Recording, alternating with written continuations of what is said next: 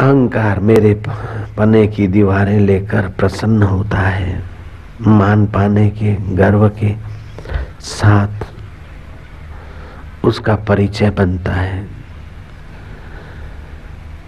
महत्वाकांक्षा बढ़ाता है, चाहना बढ़ाता है, धन, मान, भोग भोग कर सुखी रहना चाहता है। सम्मान की निरंतर वृद्धि में लगा रहना चाहता है। अंधी पकड़ बढ़ाता चला जाता है। जानता है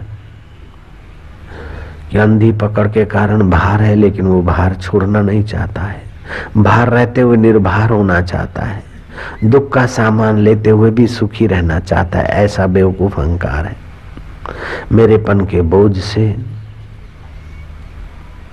धर्म की ऊंचाई को नहीं छू सकता है, लेकिन प्रेम धर्म की ऊंचाई में को छूता है तो क्या? प्रेम तो धर्म की ऊंचाई के साथ एक कर देता है। सारे पाप अहंकार की परिधि में होते हैं और सारे पुण्य प्रेम की परिधि में होते हैं। सारे शुभ होते हैं निर्दोष प्रेम से और सारे अशुभ होते हैं शुद्ध अहंकार से। धर्म और अधर्म की व्याख्या क्या? अहंकार को सजा कर सजाने के लिए जो भी किया जाए वो सब अधर्म है। और प्रेम स्वरूप परमात्मा में सराबोर होकर जो भी होता है वो सब धर्म है। अहंकार को विसर्जित करने के रास्ते पे चलना धर्म है और अहंकार को सजाने के रास्ते चलना अधर्म है। आत्म प्रतिकूलानी परेशान न समाचरे, जो आपको दुख देता है, आपको अच्छा नहीं लगता, ऐसा दूसरे से मत व्यवहार करो।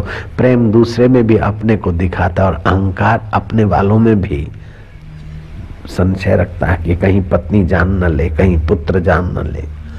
जीवन भर तिजोरियों को संभाला था कुटुंबियों से कपट करके भी अलग जगह पे रखता है अहंकार।